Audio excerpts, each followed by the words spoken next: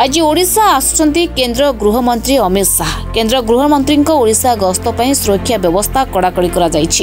ଭୁବନେଶ୍ୱର ଏୟାରପୋର୍ଟରେ ସୁରକ୍ଷା ବ୍ୟବସ୍ଥାର ଯାଞ୍ଚ କରିଛନ୍ତି ଭୁବନେଶ୍ୱର ଡିସିପି ପ୍ରତୀକ ସିଂ। ଗୃହମନ୍ତ୍ରୀଙ୍କ ଗସ୍ତ ଲାଗି ତ୍ରିସ୍ତରୀୟ ସୁରକ୍ଷା ବ୍ୟବସ୍ଥା ସହ ବାଇଶ ପ୍ଲାଟୁନ୍ ପୋଲିସ ଫୋର୍ସ ମୁତୟନ ରହିବେ। ଶାହାଙ୍କ କ୍ୟାରକେଟ୍ରେ ରହିବ ତିରିଶଟି ଗାଡ଼ି। ଏଥିରେ ଅଗ୍ନିଶମ ବିଭାଗ ଆମ୍ବୁଲାନ୍ସ ଓ ଜାମର ରହିବ।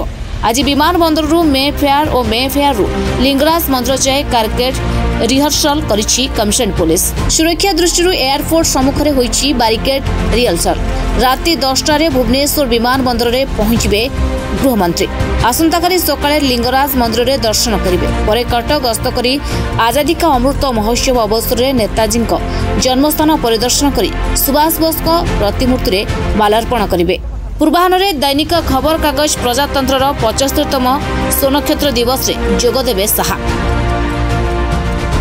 ଭୁବନେଶ୍ୱରରୁ ଶୁଭମ ନନ୍ଦଙ୍କ ସହ ସରୋଜ ରାଉତଙ୍କ ରିପୋର୍ଟ ରିପୋର୍ଟର୍ସ ଟୁଡେ।